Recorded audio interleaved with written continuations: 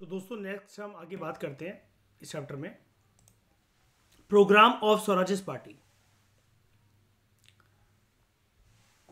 inside the council मतलब इनका मकसद तो यही था ना कि हमें लॉ मेकिंग बॉडी के अंदर जाकर जो है वो अटकलें पैदा करनी है। फ्लॉस को हाईलाइट करना है। है ना? और प्रॉपर तरीके से लेजिस्लेशन आए जिसमें हिंदुस्तानियों की वॉइस देखिए, उसको हाईलाइट करना right the party decided that when possible it would number one refuse supplies and throw out budgets to force recognition of the rights कि जो भी चीज़ें तुम यहाँ से रॉ मटेरियल्स की फॉर्म में लेकर जाते हो, या जो तुम बजट जो प्रिपेयर करते हो ऑब्वियसली बात है वो जो तुम खर्चा है, वो सारे के सारे यहाँ के पैसों का करते हो, ठीक है? जो बनाते हो बजट मतलब जो भी खर्चा है तुम्हारा यहाँ पर हो रहा है दे वुड रिफ्यूज सप्लाईज कि बाहर से कोई भी चीज़ तुम्हारी ना आए यहाँ पर। हमारा रॉ मटेरियल वहाँ पर ना जाए finish good finish goods process होकर यहाँ पर ना आए। And they would through out budgets to force recognition of the rights हम बजट को पास नहीं होने देंगे। Throw out all proposals for legislative enactments by which the bureaucracy propose to consolidate its power इनके हाथ में काफ़ी ज़्यादा पावर रहती है। We will throw out all the proposals for legislative enactments जिसके थ्रू ऐसे जो कानून बनते हैं, जिसके थ्रू ब्यूरोक्रेसी जो है, उसको पावर मिल जाती है we will reject rejected outrightly we will move resolution and introduce and support measures and bills necessary for the healthy growth of national life we will help the constructive programme of the Congress और देखो, ये जो डर था, ये clear हो गया members का, कि अगर ये लेजिस्लेटिव काउंसिल में जाते हैं पार्लियामेंट्री वर्क करते हैं तो कंस्ट्रक्टिव वर्क कॉम्प्रोमाइज होगा। निगलेक्ट होगा? नहीं। इन्होंने बोला अपने साफ़ तरीके से कि जब ज़रूरत होगी, हम ये ये सारे काम करेंगे। Inside the council the party decided that when possible it would help the constructive programme of the Congress उसके बाद we will follow definite economic policy to prevent the drain of public wealth from India यानी कि यहाँ का जो पैसा है, वो बाहर ना जाए इंग्लैंड ना जाए by checking all activities leading to exploitation और कैसे हम बढ़ा सकते हैं national economic industrial and commercial interest को देश के। तो स्वराजिस की क्या एक्टिविटी थी काउंसिल्स के अंदर? Swarajist activity in the councils election जो है, नवंबर 1923 में होने थे। चुनाव का टाइम आ जाता है। 141 इलेक्टेड सीट्स में से स्वराजिस को कितनी मिली? 42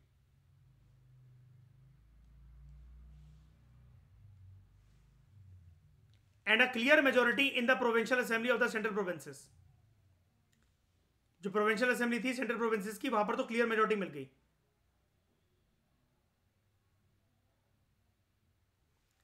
In legislatures in cooperation with the liberals and independents like कुछ निर्दलीय लोग भी थे लाइक जिन्ना, कौन जिन्ना? मोहम्मद अली जिन्ना। एंड मालविया, कौन Malaviya? Madan Mohan Malaviya. Swaraj is won majority तो मेजर अचीवमेंट्स इनकी क्या रही है? With collision partners like minded जो लीडर्स थे, जो कि देश की आज़ादी चाहते थे, या फिर जो ये चाहते थे लॉ मेकिंग प्रक्रिया में हिंदुस्तानियों का योगदान हो Swarajists outvoted the government several times एक बार इनके इलेक्शन लड़ने की देरी थी और यही ये नो चेंजर्स को इतने टाइम से चिल्ला चिल्ला कर समझाने की कोशिश कर रहे थे। और मिली ना इनको, देखो सीटें और वोट मिले कि नहीं मिले? Swarajists outvoted government several times even on matters related to budgetary grants and pass adjournment motions अब यानी कि अटकलें जो पैदा जो करना चाह रहे थे, कि अंग्रेज़ कोई भी जो कानूनी प्रक्रिया लेकर आते हैं और इतना ज़्यादा पैसा हमारे देश का बर्बाद कर करके इंग्लैंड भेजते हैं, अपने लग्जरी लाइफ को जो एंजॉय कर रहे हैं, और हम भी देखना चाहते हैं कि कौन सा पैसा बजट के थ्रू पास हो जाता है, लेकिन उसका ग्राउंड लेवल पर कोई असर तो देखने को मिलता ही नहीं है। इन लोगों ने सारे के सारे मैटर्स में अटकलें पैदा करना शुरू करी। इनकी वॉइस भी अब इंपॉर्टेंट थी लेजिस्लेटिव बॉडीज में लेजिस्लेटिव काउंसिल्स में। And they pass adjournment motion for the same for various decisions जो कि लिए जा रहे थे लेजिस्लेटिव काउंसिल के अंदर। They edited through powerful speeches on self government कि स्वराज का सपना हमें पूरा करके दो। They demanded civil liberties and industrialisation industrialisation का माहौल कितना था भारत के अंदर? कितना था? ना के बराबर। विठल भाई पटेल ही वो ही, ठीक है।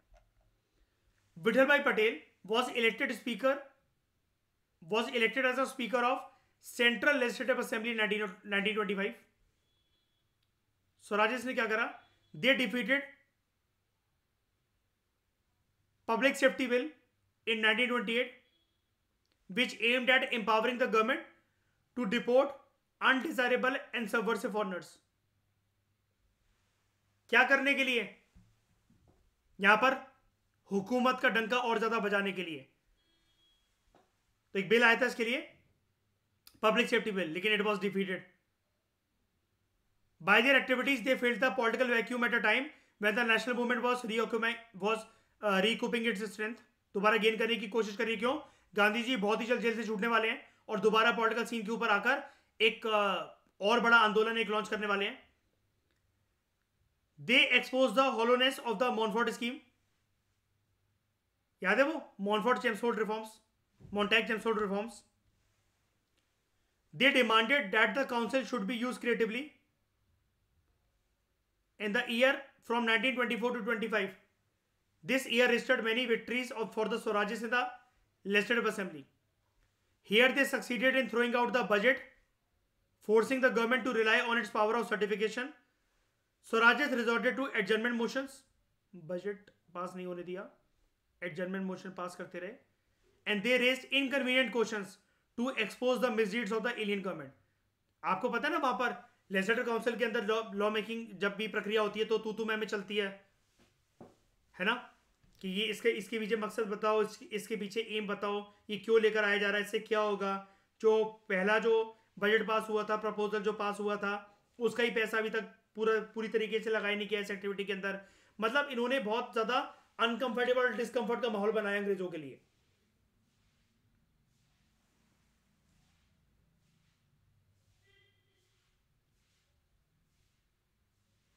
ठीक है?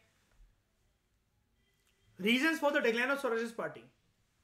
There was a government crackdown on the Swarajist towards the end of 1924. सरकार समझ गई कि स्वराजिस का एम क्या मकसद क्या है और सरकार ने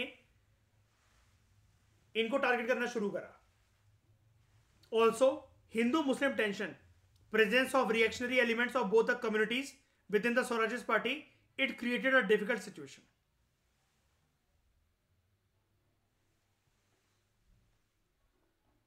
तो रीजंस क्या है? रीजंस में बहुत सारे रीजंस हैं, जैसे कम्युनल पॉलिटिक्स का राइज होना इंटरनली डिवाइड होना इनका। ये ऑफ़िस से काफ़ी ज़्यादा अपने जिस पोस्ट पे थे, उससे अट्रैक्ट होने लगे। अब ये वाला डर जो है लियोर ऑफ़ ऑफ़िस ये डर देखो यहाँ पर, जो नो चेंजर्स का था।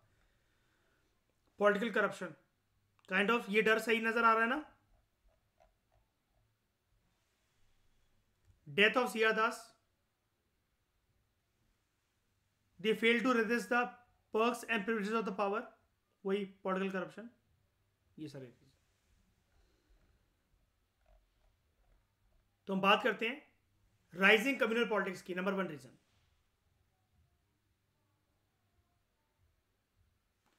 कई सारे हिंदू ये मानने लगे थे इस टाइम पर कि इनके इंटरेस्ट हाईलाइट नहीं करे जाते या फिर इनके इंटरेस्ट सुरक्षित नहीं रहेंगे स्वराजिस पार्टी के हाथों में।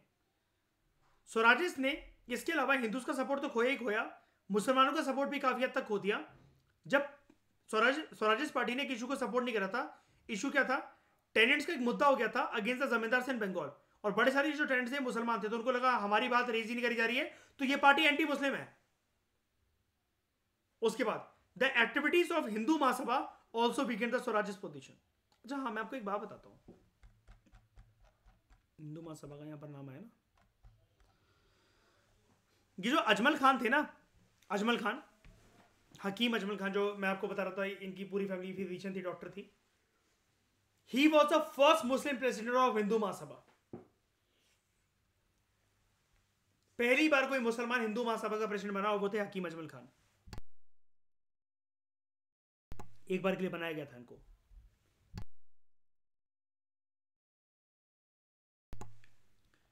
The Hindus felt that their interests were not safe in the hands of Swaraj's party. Swarajist ने मुसलमानों को सपोर्ट भी खो दिया था कि जो टेनेंट्स थे, जब जमींदारों के खिलाफ उनका कुछ तसल चल रही थी तो बड़े सारे टेनेंट जो थे, वो मुसलमान थे, उनको लगा। स्वराजिस का कोई ध्यान ही नहीं है मुसलमानों के प्रति हमसे नफरत करते हैं। And the activities of the Hindu Mahasabha also weakened the Swarajist position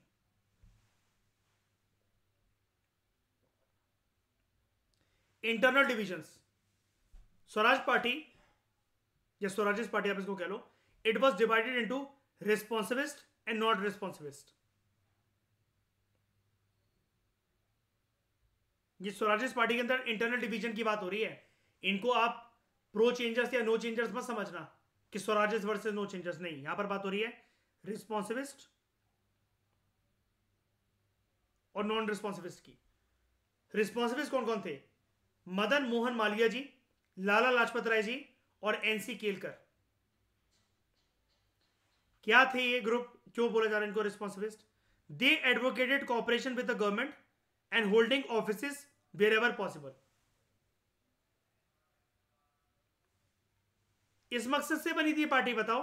इनका तो मकसद यही था ना लेजिस्लेटिव काउंसिल के अंदर एंट्री कर कर सिर्फ़ विरोध करना, जो गलत कानून है उनको क्रिटिसाइज करना। कभी भी ये था इनके एजेंडा में कि हम कॉपरेट करेंगे गवर्नमेंट के साथ और जो वो हमें ऑफ़िस देंगे होल्ड करने के लिए, हम होल्ड कर लेंगे उनको। यानी कि यहाँ पर ये क्या चीज़ झलक रही है? क्या चीज़ झलक रही है? झलक रहा अगला पॉइंट अच्छा अगला पॉइंट यहीं पर है। ल्योर ऑफ़ ऑफ़िस ये दोगलापन नहीं है?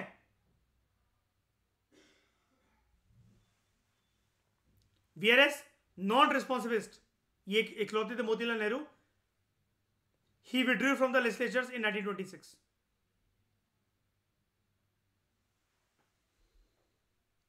जब सहयोगी नहीं मिल रहा साथियों का, जब वो ये कह रहे हैं कि let's give our cooperation to the government holding office तो ये तो मॉडरेट अप्रोच हो गई पुरानी वाली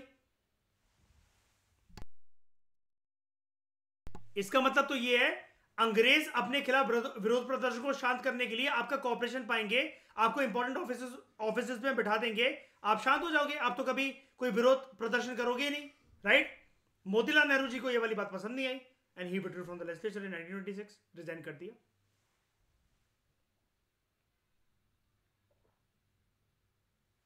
इन सारी चीज़ों में श्रेया, एक चीज़ गायब है, बताओ क्या? ये जितना घटनाक्रम चल रहा है अभी पूरा।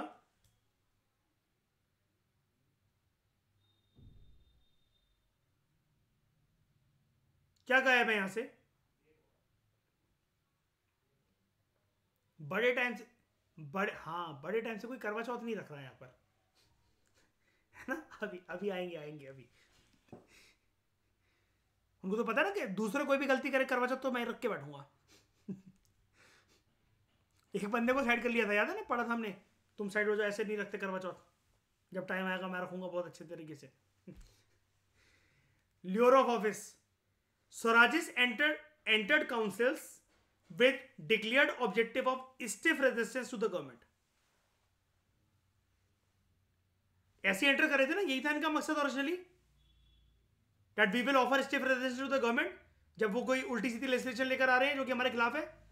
How the spirit of resistance it soon gave way to cooperation वो जो ऊपर वाला पॉइंट है, उसी का उसी का पॉइंट एक कंटिन्यूशन है। यानी कि लियोर ऑफ़ ऑफ़िस वाली बात किसके लिए सही बैठती है? रिस्पॉन्सिबिस्ट रिस्पॉन्सिबिस्ट यही तो यही तो चाह रहे हैं that we should advocate our cooperation with the government and holding office wherever possible तो ये जो जज्बा था ना रेजिस्टेंस का, ये कन्वर्ट हो गया कॉपरेशन में। Responsivists among Swaraj like Lala Lajpat Rai Madan Mohan Malaviya and N C Kelkar इनका नाम नहीं सुनते हो आप, कहीं कम सुनते हो तो इस पर ध्यान रखना एनसी केलकर पर। जैसे आपने इन तीनों का नाम सुना होता है ऊपर, हमेशा हिस्ट्री को पढ़ते हुए। वल्लभ भाई पटेल, राजेंद्र प्रसाद, सी राजा गोपालाचारी लेकिन एम ए अंसारी का नाम नहीं है, जानते हो आप? ऐसे आप यहाँ पर मोतीलाल नेहरू, सी अरदास का नाम जानते हो, अजमल खान का नाम नहीं जानते हो। तो ये एक्सेप्शन पे भी फोकस करा करो यूनिक नाम पर, ठीक है? They advocated cooperation with the government and holding office wherever possible और क्या रीजन से डिक्लाइन के? सी आर दास जी की मृत्यु मृत्यु हो गई थी 1925 में, जिसकी वजह से स्वराजिस पार्टी वीक हो गई थी। स्वराजिस जो है they let the policy to coordinate their militancy inside legislature with mass struggle outside जो वो कह रहे थे ना कि दो तरफा लड़ाई होगी, वो दो तरफा लड़ाई नहीं चल रही थी अब। They relied totally on the newspaper reporting to communicate with the public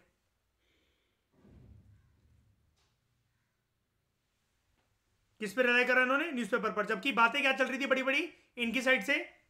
हम जो बाहर जो नेशनल लीडर काम कर रहे हैं, उनका रिस्पॉन्स पाएँगे, फिर हम इंटरनल स्ट्रगल करेंगे right Inside the legislatures, Swaraj's failed to pursue the policy of constant, continuous, and uniform obstruction. An obstruction, an obst, obstructionist strategy in the council had its limitations. क्यों फिर वो corporation नहीं मिलेगा आपको उनका वो जो सीटें ऑफ़र कर रहे हैं अंग्रेज़ वो नहीं मिलेंगे आपको Swarajists fail to resist the perks and privileges of office and power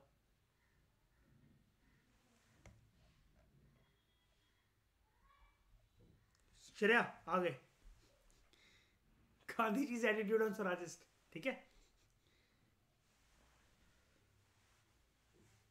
He was completely against the idea of entering the legislative council क्या कहा इन्होंने मयूर? मैं तो पहले ही कहता था।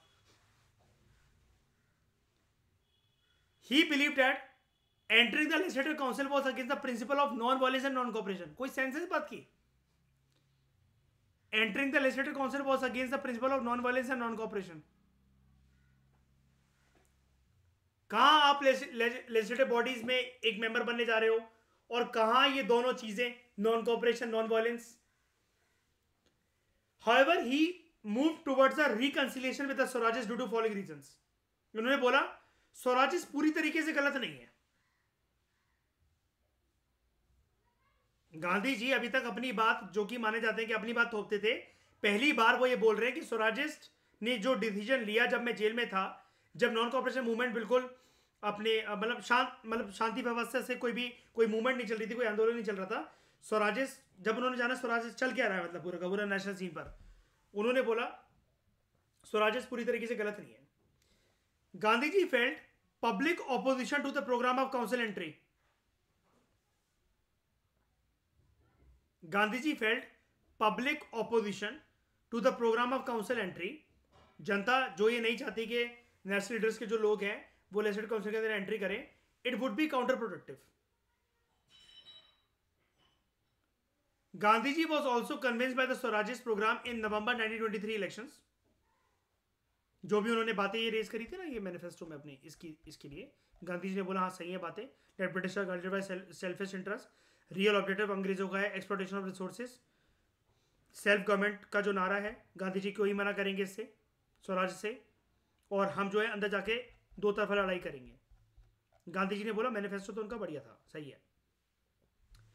When there was a government crackdown on the Swarajists towards end of 1924 सरकार ने जब स्वराजेस को शांत करने की कोशिश करी Gandhi ji express express solidarity with the Swarajists by surrendering to their wishes मान लिया गांधी जी ने उनकी बातों को कि हाँ तुम सही कह रहे हो और uh, मेरा पूरा पूरा सपोर्ट है तुम्हें। तो जो बेलगांव सेशन होता है कांग्रेस का 1924 में ओनली सेशन जहाँ पर गांधी जी कौन थे? प्रेसिडेंट आ गया? और बेलगांव कहाँ पर है? Karnataka. Gandhi agree that Swarajists would work in the councils as an integral part of the Congress Gandhi agree that Swarajists would work in the councils as an integral part of the Congress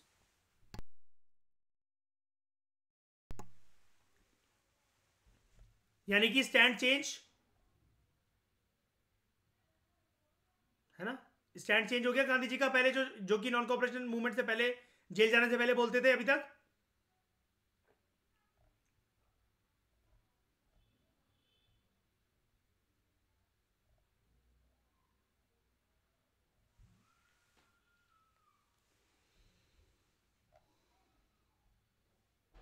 अब जो ये बात चल रही थी दो changers क्या कहते थे? कंस्ट्रक्टिव वर्क करो, है ना? तो कंस्ट्रक्टिव वर्क क्या है changers devoted themselves to the constructive work that connected them to different section of the masses.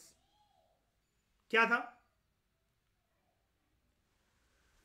आश्रम जो है, वो बनना शुरू हुए जहाँ पर young man and women work among tribals and lower caste ये किस लिए करा गया? एफिलिएशन के लिए. Use of khadi and charkha was popularise national schools and colleges were set up जहाँ पर स्टूडेंट्स को ट्रेन करा जाता था in non colonial ideological framework degree और जॉब्स की तरफ़ जो अट्रैक्शन था they took the students to official schools and colleges तो इसलिए, जब गांधी जी ने रिक्वेस्ट करी थी ना उनसे कि ये सब छोड़ दो तो लोगों को करियर मतलब ऐसा ना लगे कि करियर छिन के अब हम करेंगे क्या जीवन में? तो national schools and colleges were set up significant work was done for Hindu Muslim unity removing untouchability boycott of foreign growth and liquor and food flood relief Constructive workers served as the backbone of civil disobedience as active organizers.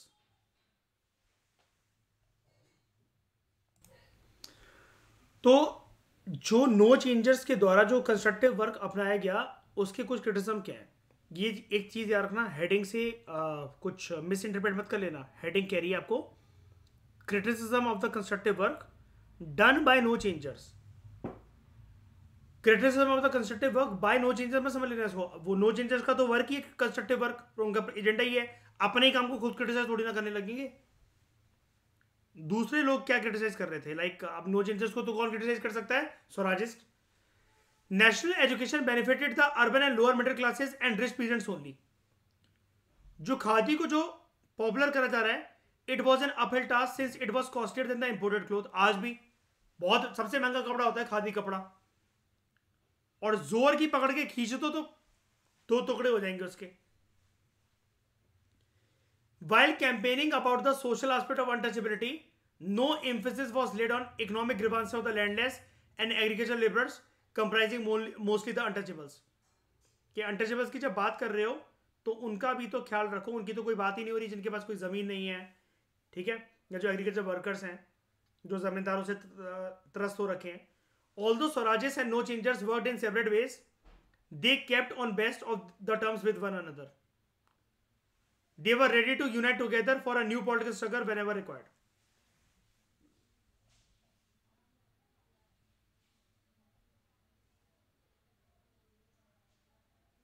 ठीक है? यानी कि party तो नहीं टूटी, ये तो अच्छी बात है। ठीक है? अब हम कुछ स्वराजियस लीडर्स और बहुत सारे जो नो चेंजेस लीडर्स हैं और और भी जो लीडर्स हैं, उनके बारे में देखेंगे तीन चार पेजेस लेकिन वो वाला काम हम करेंगे नेक्स्ट लेक्चर में, ठीक है? इस डिस्कशन में दोस्तों फ़िलहाल इतना ही। Thank you very much for discussion